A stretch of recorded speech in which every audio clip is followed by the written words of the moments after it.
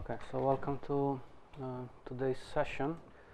So um, I decided, you know, in the interest of giving you a more comprehensive view of the material to um, uh, skip one lecture in the module 3, okay, because we're going to see some of these uh, dense deployment issues anyway uh, in, you know, um, with the tool of stochastic geometry. So I'll start the, the last module of the course today and that will keep us busy until the end of the course.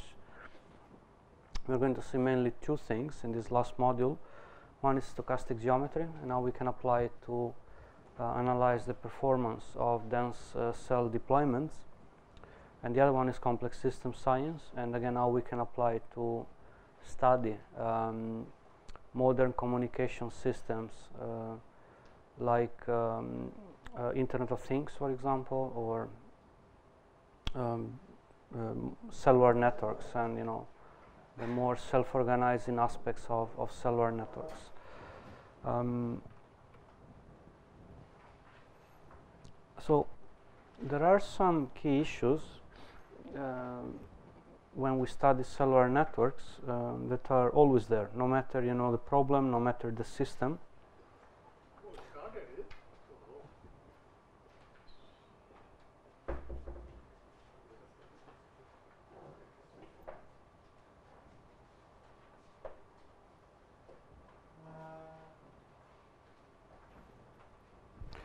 Okay, so uh, basically we do have uh, some questions when we study cellular networks that are, are there regardless of the system of the um, specific problem we are we are tackling. So I would say these are general questions. Okay, so um, how do the cells really look like? I mean, I, am sure all of you have been uh, like studying and are familiar with uh, this honeycomb kind of right um, deployments.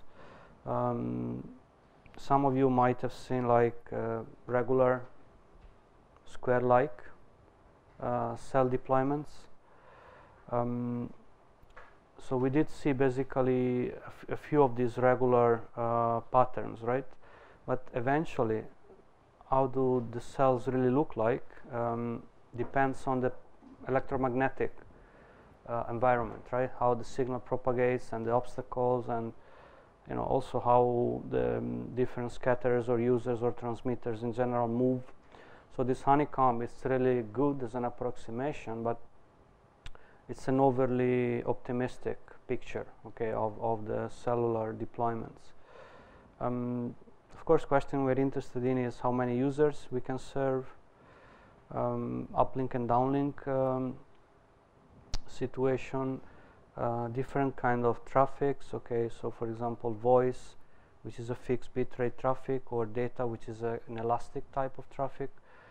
Um, how users arrive or uh, move within the network or depart from the network.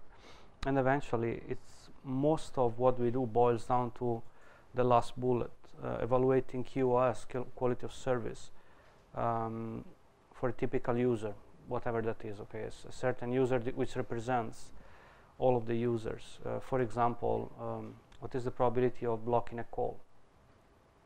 So uh, there are many things you can do to model, uh, you know, this uh, uh, situation. Of course, a tool that has been used in many different aspects uh, for many different problems is optimization, right?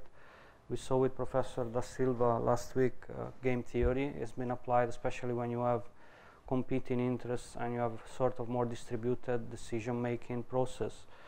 Um, and one that is actually being applied quite a bit at the moment is stochastic geometry in different uh, ways. So what we are going to see in this course is mostly how you model the deployment of um, base stations, okay, uh, or small cell base stations. Uh, some other people are studying the demand, right? So how you actually model the user side of the story, how the users are uh, moving within a network, you know, and uh, traffic demand and so on. So you can do a few things. Um, so in the first part of this uh, mini, let's say, block of lectures, I'm going to tell you some basics about stochastic geometry, with always keeping in mind that we are interested in the application to wireless networks in this in this context, and then we are going to see some work we did more specific, you know, um, uh, in terms of ultra dense networks and how you can actually model SINR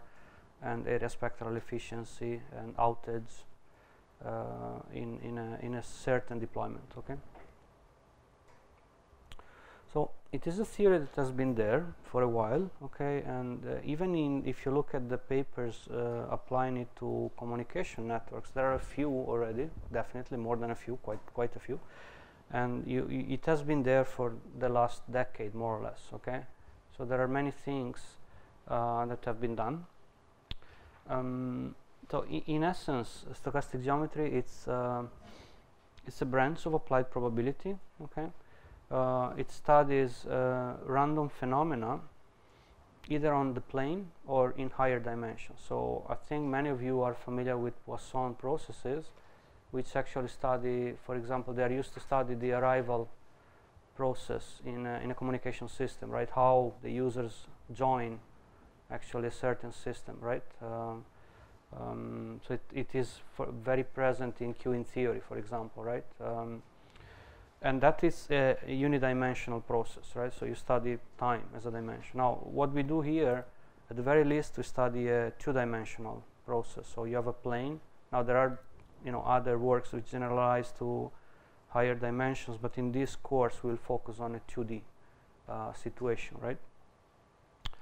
Um, yeah, I mean, eventually it has been applied in very different contexts okay so like biology astronomy material sciences uh, it's definitely used in image analysis and as we are going to see soon in communication networks okay um, in fact many tools that are used in image analysis have been also used in communication um, networks okay for example uh, many different transforms right? Fourier, uh, like Fourier transform or other transforms have been used first in image analysis and then have been many many things have been actually trans uh, translated into the communication systems uh, language right um, because eventually I mean many things are similar when we uh, and just I, I, don't talk too much about biology astronomy material sciences because I'm not really uh, very knowledgeable on that but image analysis to my understanding has a lot to let's say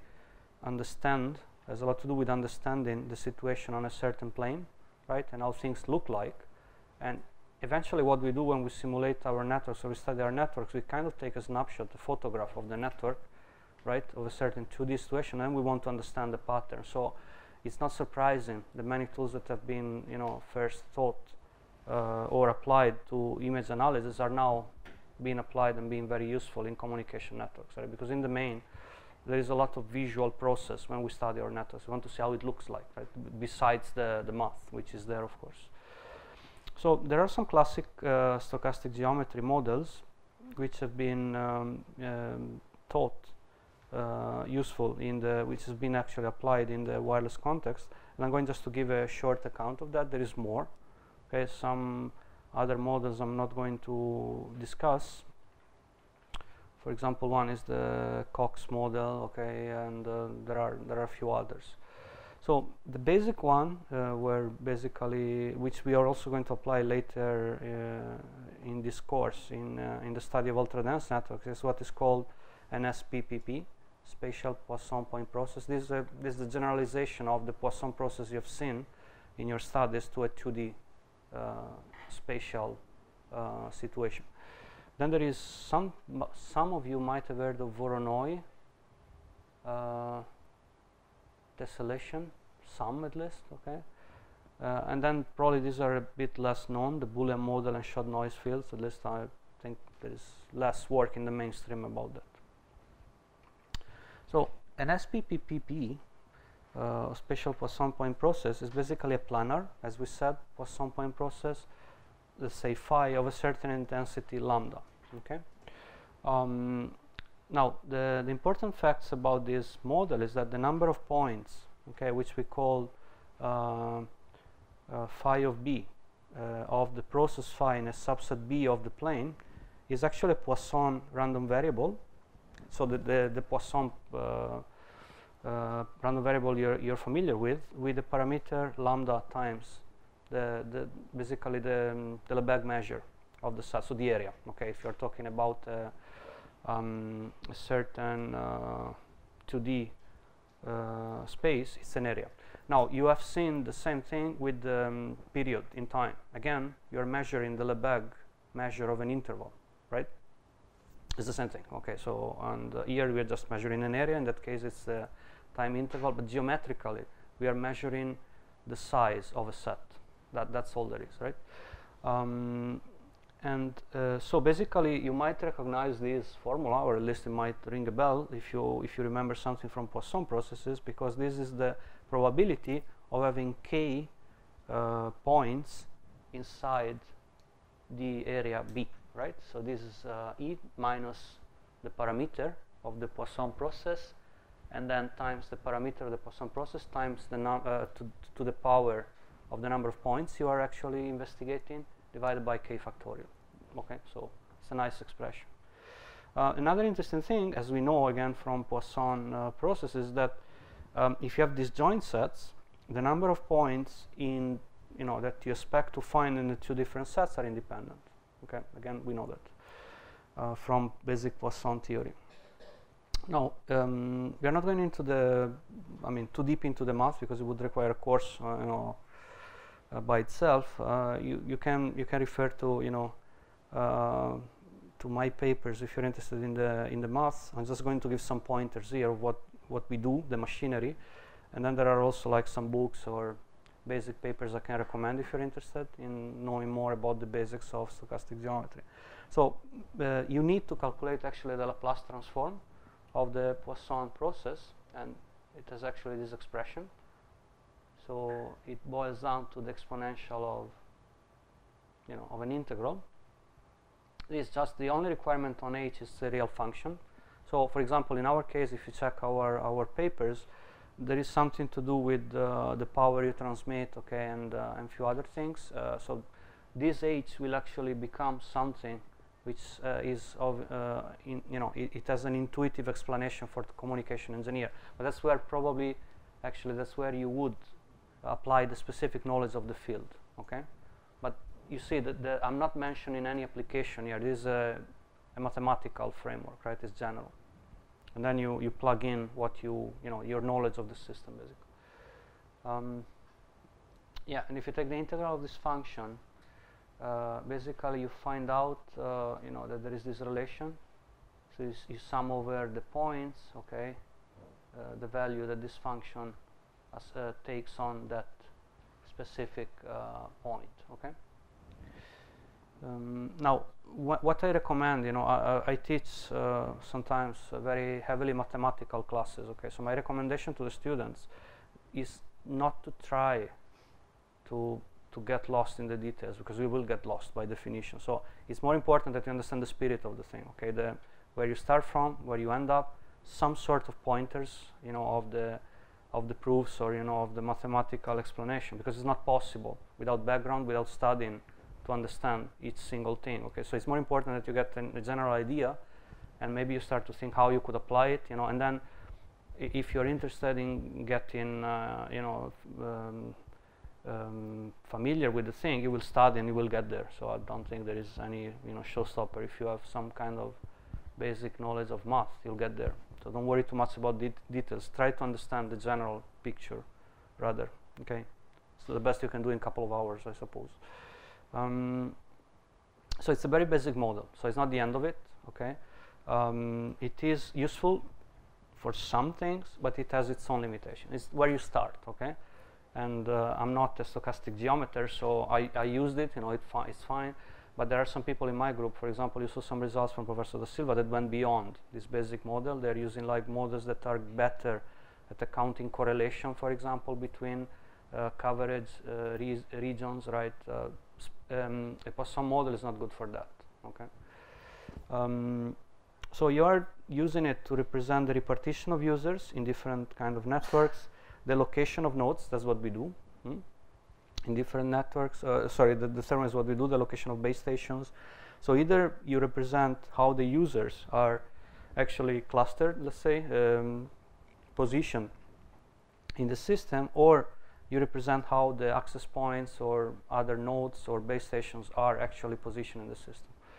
Um, so the, the good things about the spatial uh, Poisson point process is that it is simple.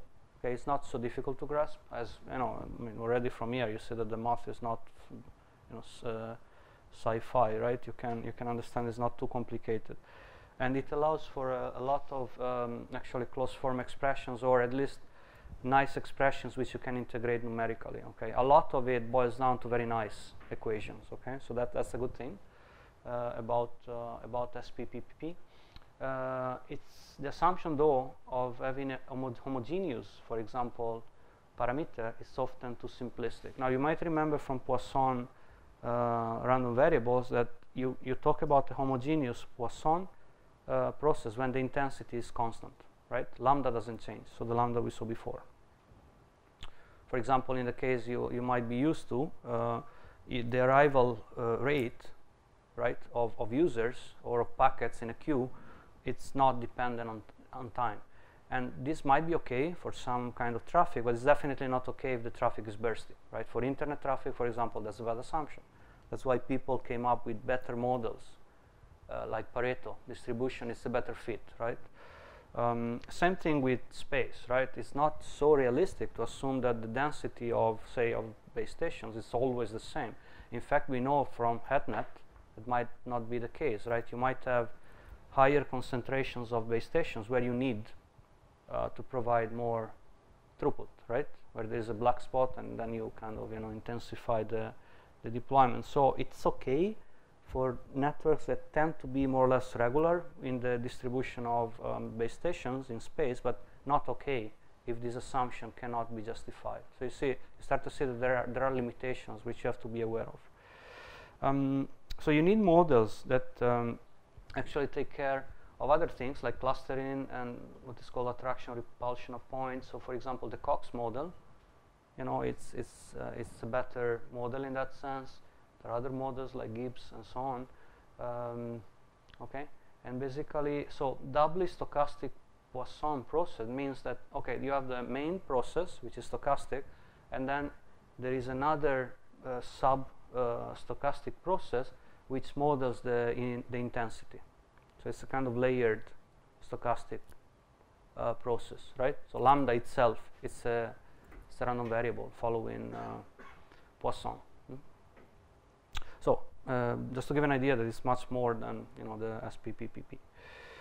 Now the Voronoi tessellation, some of you might have even used it or at least seen it, and that's a better uh, model for uh, you know um, basically at least better than what we usually do which is this honeycomb uh, or you know maybe we have squares i don't know you know but very regular pattern so a better uh, approximation towards reality is voronoi voronoi simply means basically given a collection of points on the plane and a certain point x you define a voronoi cell to be the subset of the plane that are closer to x than any other point in phi so basically you have this collection of points and then you define, given any point in the plane, you associate it to the point that is closer to it.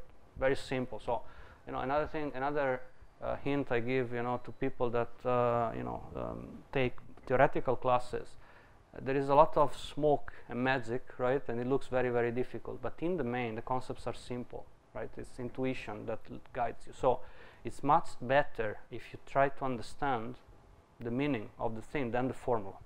If you understand the meaning, the formula will come. It's machinery, okay? But if you focus in a sense on the formula and you miss what it means, you're going to, to be in trouble. Okay, so many concepts, if you look at the formalism, oh my God, I'm lost. But in the main, you see, this is very simple. Okay, you, you, it's like, um, you know, you get attached to the base station, say, based on the distance. As simple as that, right? Where normally you would expect the highest power. So even from a communication viewpoint, it has a justification. In fact, it's not, you know, no surprise that this is more meaningful as a model than the traditional honeycomb and so on, right? It's, it makes more sense.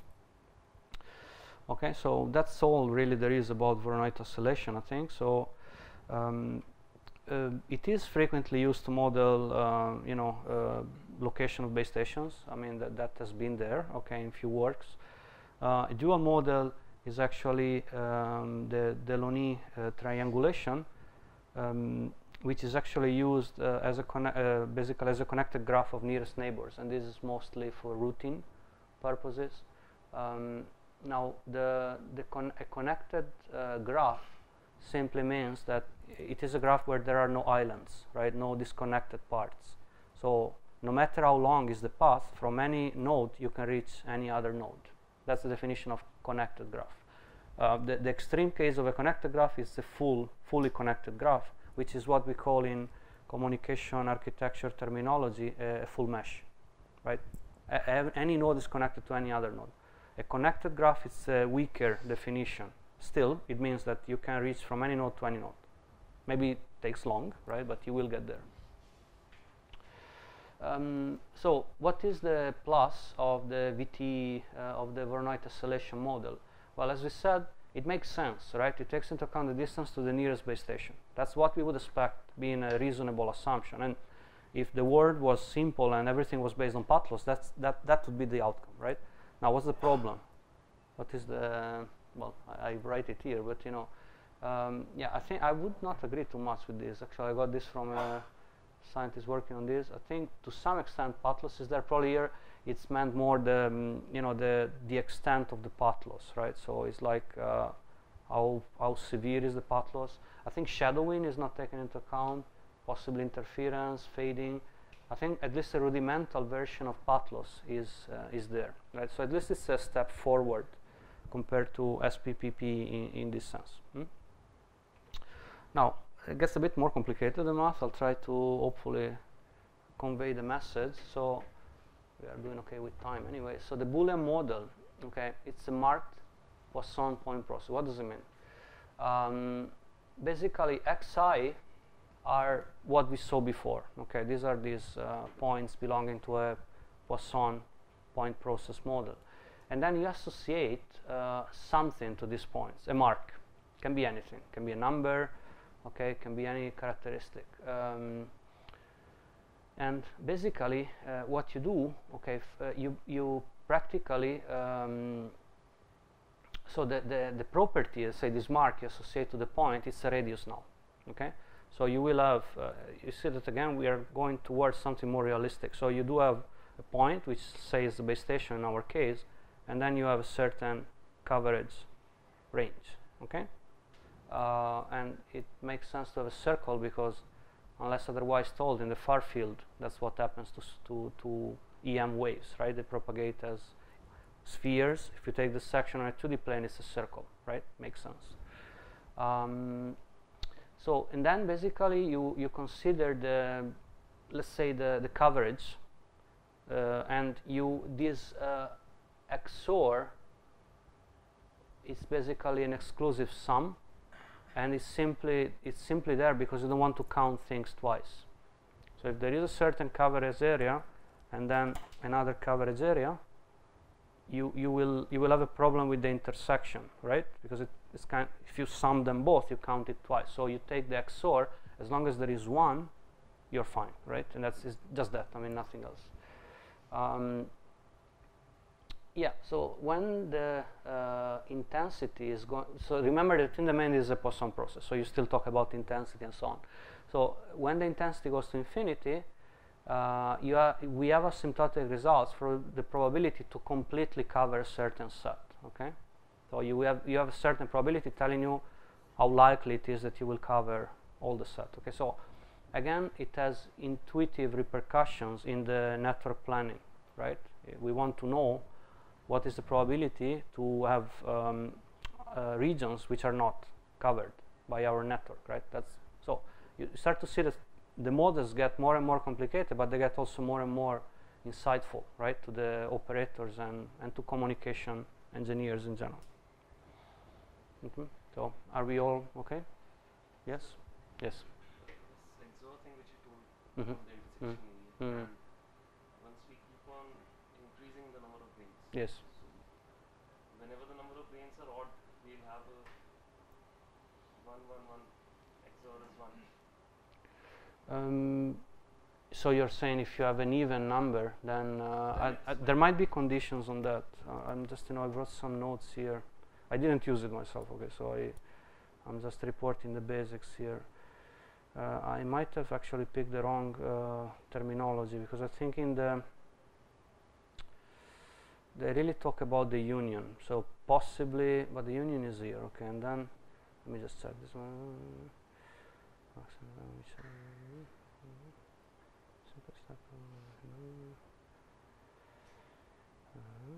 Okay, that's the union. I'm okay with that. And then the point is the rest. Um, might be some conditions about avoiding this, I suppose. Uh, so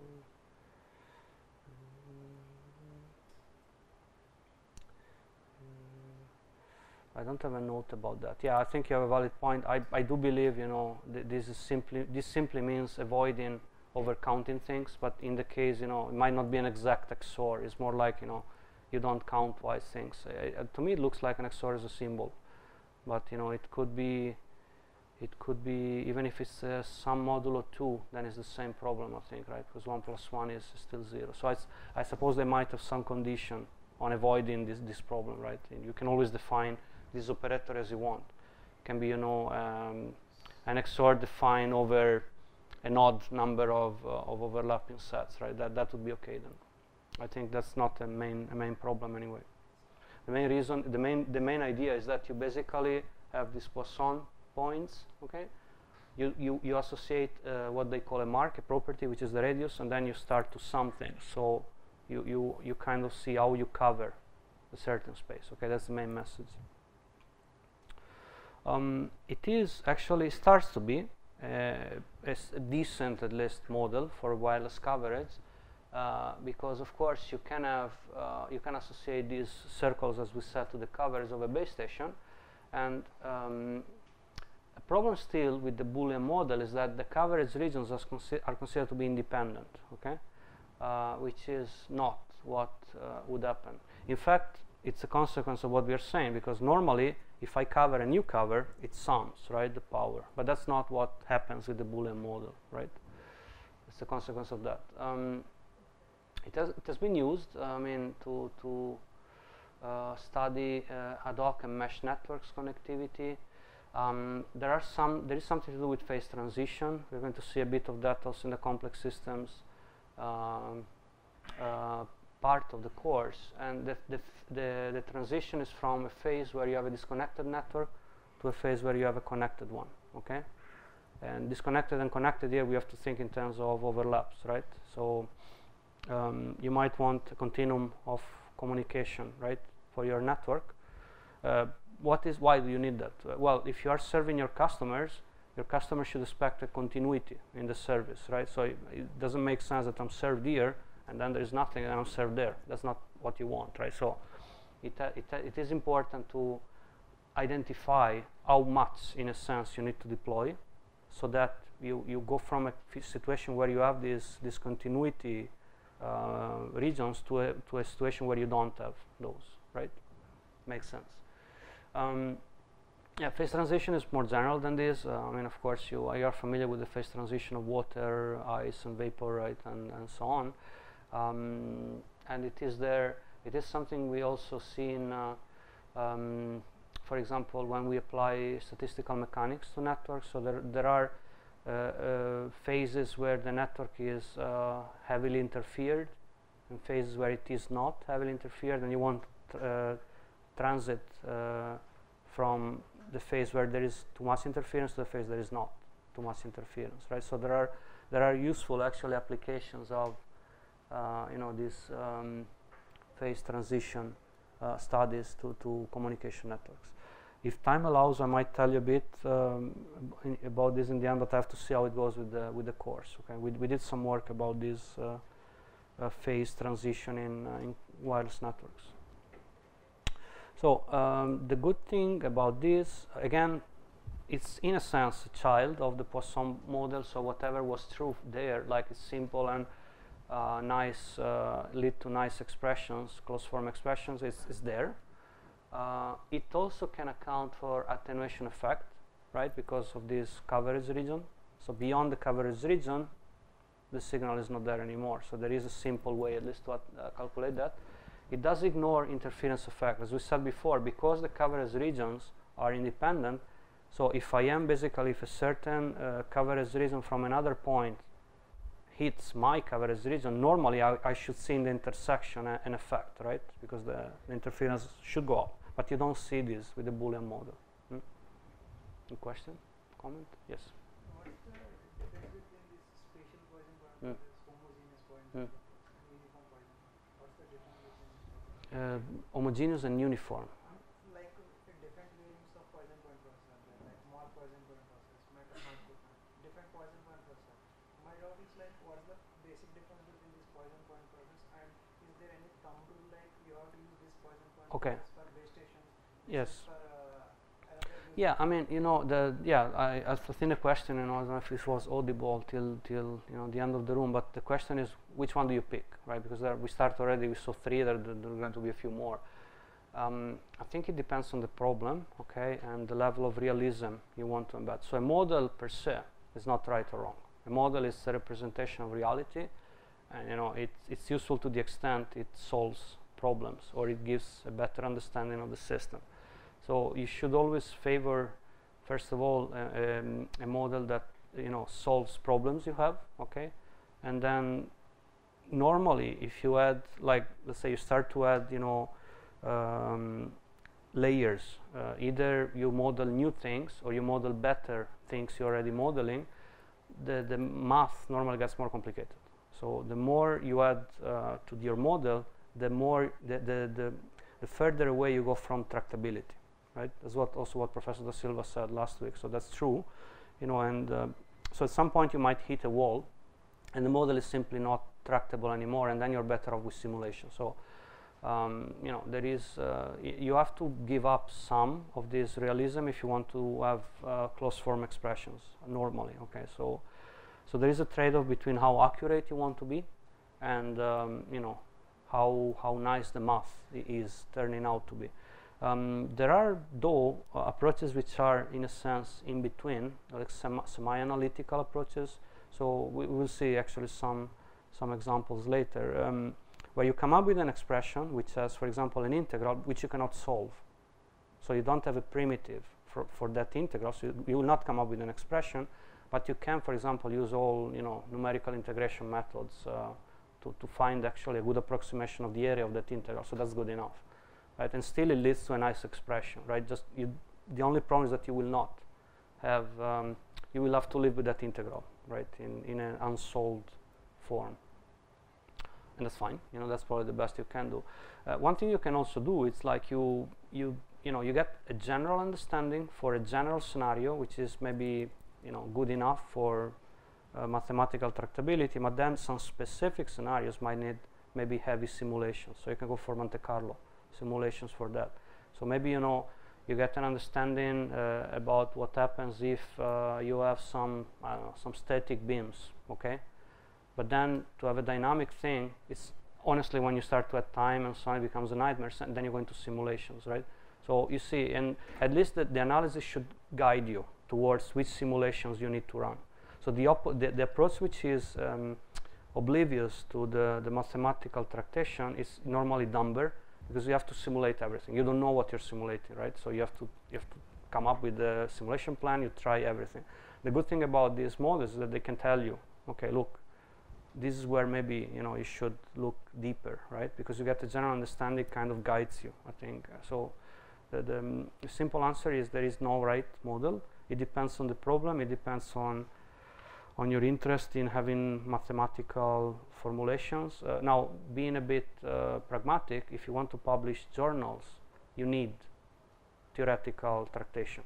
You cannot publish journals just based on simulation. So, if, if you are pursuing a PhD or an academic career, it's it's a factor that you have to consider. Nothing to do with the science itself, but it's it's one you know factor that guides your your CV, um, you know, betterment and your career. So you, you cannot give up on this if you want to become a professor, so to speak, okay? Or if you want to become uh, an acknowledged, uh, you know, figure in the scientific community, you need to have some solid mat mathematical, uh, you know, models. Uh, now it can be stochastic geometry, game theory, optimization. Pick the one you want, but you cannot give up on that, okay? If you want to become an academic, um, it, uh, so yeah. So there is depends on the problem on how good you are at that, uh, you know, on the level of realism and but you, you do need some, I think, okay, some mathematical model. Um, which one will depend on, on many things. Now, the last model we're going to see in this kind of overview of stochastic geometry uh, models for wireless systems is called shot noise. So again, it's a mark process, uh, what we just saw, and these uh, SI are some random variable. So the mark now is not this coverage; it's another random variable. So again, a mark po Poisson, a, mar a, mark point process. Uh, this is not necessarily Poisson actually um, it's um, you, you do have a set of points okay and you do associate something else okay like before it was the radius here it's another random variable okay that's the marked point process um, and then in this case you have a, a linear uh, sorry a real response function L hmm? um, and the fun it's a function of the distance uh, on the plane okay so it's a function this L of something the something is the distance. Um, so you basically sum over the points, okay, si, which are these random variable, the function of the distance, y minus the point.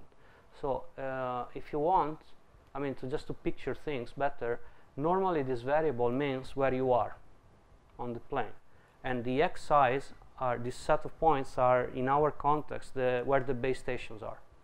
Okay, so when you say L of y minus xi, it's a function, whatever it is, of the distance where you are, I mean you as a mobile phone say, to the certain base station. Okay, that's, that's what it is. Um, so when this uh, phi tilde uh, uh, is you know, say independently marked Poisson point process, then we call uh, I uh, phi tilde the Poisson shot noise. But the shot noise model is general. So I didn't mention Poisson here. It can become Poisson if we assume basically uh, phi tilde to be, you know, this xi to be a Poisson point process. Doesn't need to be. Okay. Um, now again, nor, I mean, whenever you will see papers about stochastic geometry, you will see a lot of Laplace transforms. So it might be not a bad idea if you want to work in this field to refresh your knowledge of Laplace transform because it's, it's, it's the main tool you use. So the, for the Poisson shot noise, um, the Laplace transform of, of this vector, hmm? so any collection of uh, positions you're interested in. So this is not, this n is not necessarily the number of points you have here. It can be anything, right? Uh, they can be different. You can have more users than base stations, less users than base stations, same number, right? It has to be general. Uh, so any set of points on the R2 plane um, basically uh, you can you can calculate I mean this quantity right for them and um, basically the Laplace transform of this vector is is known okay we know this this Laplace transform I'm not going to give you the expression but the important thing to know is that we, we can calculate this okay now what what is it good for now some of you might start to recognize some things here right It looks like things we are familiar with at least. Um, so it is a, a very good model to, to for the total received power in a wireless network because, for example, you could have these marks SI to be the, the emitted powers, right? Think, you know, even if I didn't tell you, this should start to look like model we are familiar with, right? Uh, the response is the attenuation function, for example, path loss, right? common thing we do. And you, the good thing is that it can also be enriched to account for other aspects like shadowing, fading, usage of directional antenna. So ideally, it's probably a very good candidate to model things you know we are we are interested in, right? Um, so what happens is basically this I uh, phi tilde is just a sum of powers. So what we normally have at a certain point in space is that we collect all the powers, right, that arrive from different emitters, and usually only one of them, unless you do some coordinate multi-point thing, the only one of them will be useful, right, and the others will be interfering power. So uh, this and uh, you know this is a model where you actually can get close to the situation of a, of a wireless communication system. Hmm? Makes sense. If you have any question, let me know. Um, there is actually a, a generalization of, uh, not, not generalization, but another formulation of, of the shot noise model. So here we do the sum. Here's the same, I mean, all I'm saying is the, exactly the same, just that here we take the maximum, right? Maximum received power in a sense. Um, again, the, no problem. If you have a set of points, we are interested in a set of, say, uh, not, not the Poisson points, but a set of uh, interest points, let's call them like this, on the plane, you can calculate uh, actually the, um, the joint PDF. So the joint PDF, the joint probability density function of this vector is known, okay? And in fact, the, the PDF of the extremal uh, shot noise can be expressed via the Laplace transform of the additive shot noise. So in a sense, it's a child of the uh, of the former shot noise model we had. So you can actually you, can calculate the Laplace transform of the additive shot noise, and the PDF of the extremal shot noise will be expressed as a as a um, you know it will be expressed expressed via the Laplace transform of the former shot noise model we have. Okay, they are intricately you know they are in, in like how to say it they're really closely related as models. Yeah. So when do we need this guy? Uh, this guy is useful when you want to pick some particular and optimal in some sense receiver. For example, strongest one, uh, nearest one, uh, the one which provides the, bet the best uh, average or uh, correlation metrics, whatever, right? So any any anything that has to do with being better, okay, in some sense. And normally much of it has to do with being, uh, when we say strongest, nearest, best chance statistics, in my mind, it all boils down to being close in an electromagnetic sense, though. Doesn't need to be close in terms of distance. Could be that, you know, you're very close to the transmitter, but you are blocked by a, uh, a scatterer. So, but, you know, you might be closer to another transmitter in terms of electromagnetic, right, in terms of line of sight. So, when you have situations where you have to pick uh, this thing, uh, the best one, then it makes sense. For example, you could think of it like there is this uh, selection diversity in, in multi-antenna.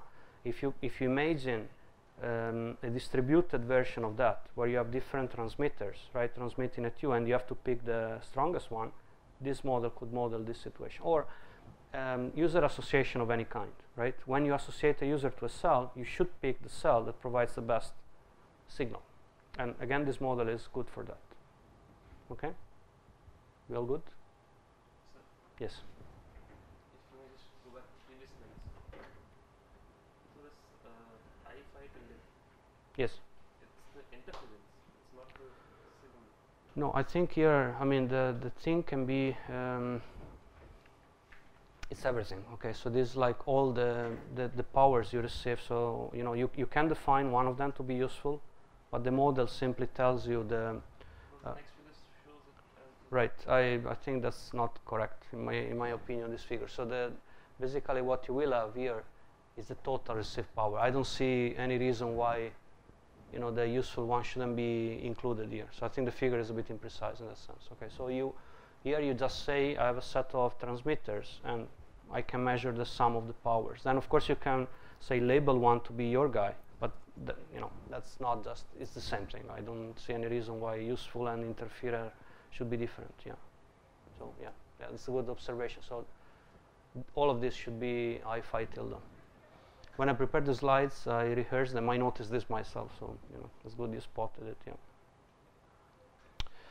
Okay um, now going maybe closing the slot, uh, you know, and going maybe more into details about a specific model we might be interested in, um, there is actually a, a model uh, which is uh, is called actually the um, it's a marked uh, uh, point process, okay, but we are going uh, to be tailoring this model towards a problem we are really interested in, which is a SINR coverage. So we want a certain level of coverage which means a certain level of SINR over our network, right? That's what we normally want. So again, by now we should be shouldn't be surprised. This xi are just points of the point process on the plane, and they are the antenna locations, right? Um, we can mark this process so we can attach a label to it, right, uh, with things we are interested in associating to the actual positions. And this would be um, a power, for example, which we already saw before, right, and a threshold. Of course, when you define coverage, you basically talk about outage, and outage is a relative thing. It depends on the level of connectivity you want to provide, right, of, of signal quality.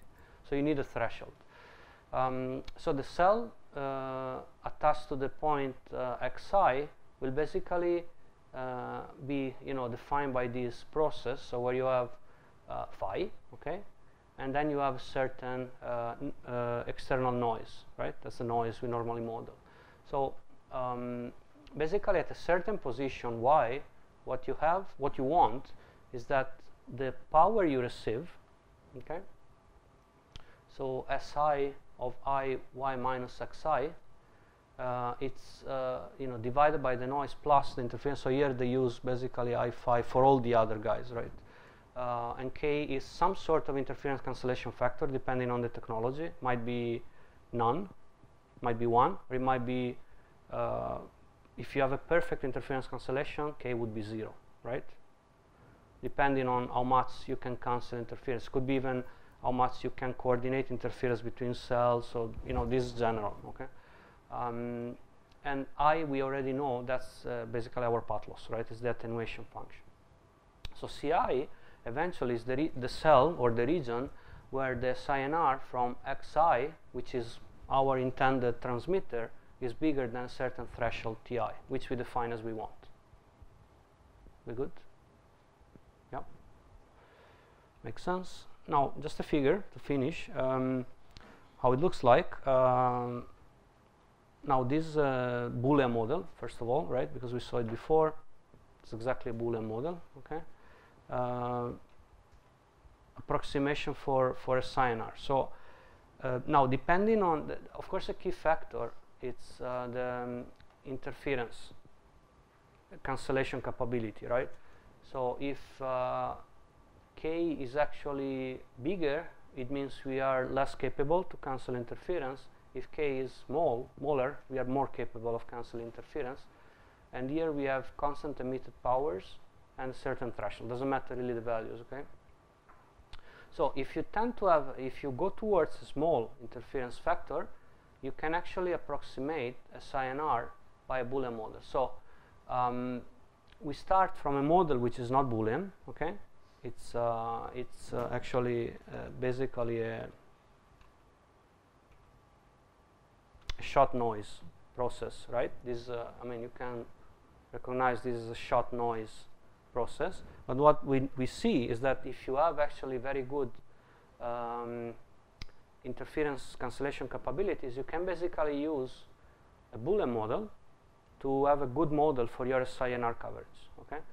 And uh, yeah, so the, there are actually these results showing this. So uh, you can actually approximate your SINR cell by, uh, by cells by a Boolean model.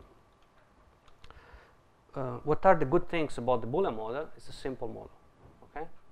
And it allows for closed form expressions, and it does have some attenuation effect account. So in a sense, if you have a better technology or a better scheme to deal with interference, you can actually exploit the benefits of, of a Boolean model to model precisely your, your, your network. Hmm? And no surprise because the, the, the, main drawback of uh, a Boolean model we saw is ignoring interference. But now it doesn't matter because interference is not there. You see my point? So there is, in a sense, it's not, you know, again, I, I want to emphasize, many people think about the model as something completely different and then somehow you have your reality, but it's much more intertwined. The model represents the reality. So if the reality changes, this has an impact on the model, right? You might start from a model, shot noise, okay?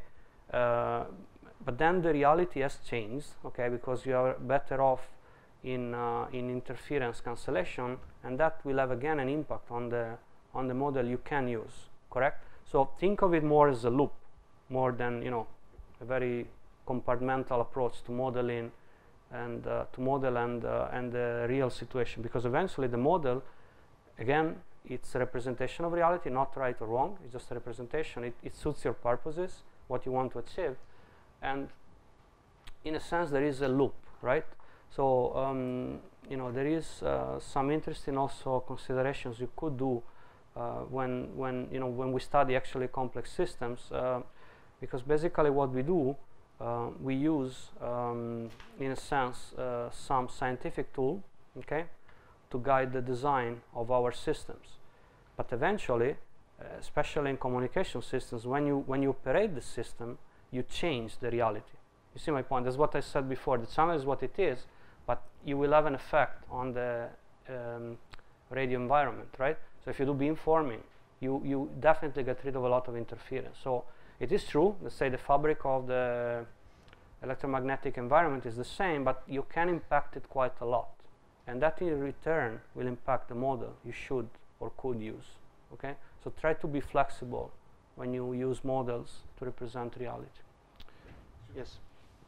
These models are applied when you are planning the deployment or because majority of the time the real-time data will come after you have done some initial deployment. Correct. Uh, I So think if you want to yeah, your coverage or yes. uh, Yeah, I you're am upgrading your system, so uh, correct. I, I kind of models would hold good? Yeah, I, I think, you know, I mean, it looks to me, uh, I'm not, again, I'm not a super expert in stochastic geometry, I've been using it a bit, you know. For basic studies and understanding, I think SPPP does the job, okay? The, the SPPP, though the spatial Poisson point process has problems with clustering, with correlation between uh, different, you know, networks, and so that's probably has to be integrated by some other models, like the, the Cox model, for example. Um, there are two kind of studies. You can either see what your network, current network looks like, right, and maybe take cor- corrective actions based on that, or you might use these models to, to see what the network would look like in the future. Like we had this discussion, if you remember, during Professor Da Silva's uh, talk, and you know uh, there was a couple of questions about uh, e- whether you could use stochastic geometry to foresee what's going to happen, and you can, yeah. Uh, but you know, it depends on what your your focus is. You, if you have, for example, some indications about the density of users, that would lead, I suppose, to um, um, indications on the SINR coverage level, and then you could see which deployment would work in that sense, right? So you could you could have a, actually a, a model coming up with uh, you know with uh, you can try different deployments and see what's what's the best because here you start from a set of points, okay? So and uh, you know it's uh, you can the, in the main this is random, it's a random process, but you can control, for example, the the intensity, which is the density, right? This lambda thing we saw in the beginning is the number of transmitters per unit of area. So you can try to see changing lambda what happens, right? You can do that uh, definitely. Um, might give some indications. Uh, the good thing about uh, stochastic geometry is that it is uh, it is an analytical tool. So you, in many situations, it provides nice expressions which reads you of the need to do a lot of simulations. You can still do simulations when needed and when maybe you know the system, like the, the analysis doesn't help, or if you need more details and the analysis can't incorporate them. But it's it's a it's a wiser approach in the sense than the brute force simulative approach. Okay, you start do simulations forever, and you don't even know what you're doing at some point, right? So, I think it can be stochastic geometry or other theoretical models, but it is important to have you know some guidance ab- uh, about uh, doing simulations. I think, okay, and also for not so much for cross-verifying simulative and analytical uh, results. I think that the main usage of analysis is to tell you, um, first of all, to free you of some need of simulations. Because once you get a closed form expression for that setup, you are done with simulations. You use your formula forever, right? Even if, say, you don't know, you, you can identify areas where you cannot have a closed form expression, it's still useful because it kind of limits the, the space in a sense where you have to do simulations, right? You don't do simulations overall, the possible configurations, you just do it for what you, you need, right? So there is there is a good usage of that, and you can you can use all of these tools for to analyze things that are there or to make forecasts about things that um, will be there in the future, right? You, you can definitely do that. Actually, the problem becomes unique in defense application. I mean, we will deploy a only when you're deployed you can take the data. So maybe the package may have a limitation. Yes, I think You're not i- always deployed. correct. I think, in fact, to my knowledge, mm, a lot of the work has been done studying, uh, okay, trying to find models that represent the current reality, okay, rather than, you know. Uh, but there are, for example, we also did studies trying to see. You can always push the density, okay. So it's still useful to know, in a sense, even if it's a st- st- statistic approach and whatever. But you still kind of have an idea, okay, how many nodes would I need? You know, is it like thousand? Is it a million? Is it hundred? So at least in terms of orders of magnitude, I think it can give an idea when you do the plan, right? But you're right. I mean, eventually you, you can, you know, uh, you can be sure about the traffic and so on once the deployment has happened. But you do need to plan. I suppose, you know, operators need to think a bit ahead, right? So they will need some sort. They do have like network deployment um planning tools, right? They do a software, so they do tweak things. It's okay. What if uh, I have a massive MIMO here? They do that. I, I know. You know, I saw that. So. Tools are available. Yeah, exactly. So you know, the, they do that. You need to do definitely. And you know, the good thing about these things is like, um, again, for some limited situations and so on, but it gives you an expression. So it, in a sense, once you know that for that setup, you don't have to do simulations ever again, right? So that's that's the thing. Um, so it is, and again, let alone if you're an academic, you need to write journals, okay? And you cannot write a journal based on a software tool or it doesn't work like that. So you know there is a bit of professional right uh, requirement if you are a scientist, but there are also like objective advantages by by adopting you know these sort of approaches and theoretical approaches in general. And you know another thing is like taste. Some people hate math, and that shouldn't be the case in this room, hopefully. But uh, you know if you if you love math, if you love theory, these are fantastic tools. I mean, you see, I think it's very nice. I mean, you know, it, it, it it's aesthetically nice. Okay, so there is there's a personal taste issue also. So if you have a band uh, towards mathematics in this sense, uh, try to follow your your instinct and passion. Right, it will work. Uh, that's a general again like these random tips I give now and then. You will do good research if you do something you like. You will do very incremental and uh, dull and not satisfactory research if you do something you don't like. I understand the PhDs might be guided somehow, and you have to follow the advisor's, uh, you know, um instructions and so on. But try still to, you know, to learn and take up things that you like. Not just the problem can change, but at least you should be very careful how you pick the tools. So try to learn things that you instinctively know will be you will be happy to work with. So uh, if you hate, if you hated the, the the part of the your studies to do with stochastic processes, I would recommend not to do stochastic geometry. But if those kind of things you like, this is going to be fun, right? So again, you have to follow a bit your instinct, I suppose. Any other question or comment? Uh, in the afternoon, I'm going to show a more concrete uh, application of what uh, we, uh, I mean, a list of the first category of um, of uh, models we saw, so the SPPP. I'm going to show how we did apply to uh, dense networks deployments, and then tomorrow morning we'll have the Q&A session about how to become a researcher or how to do research, right? And hopefully will be useful. And then tomorrow afternoon I will start the last part of the course, which is about complex system, and that will go until the end of the of the course. Um, I discussed with Professor Das, and we will have the second quiz on Monday because the last day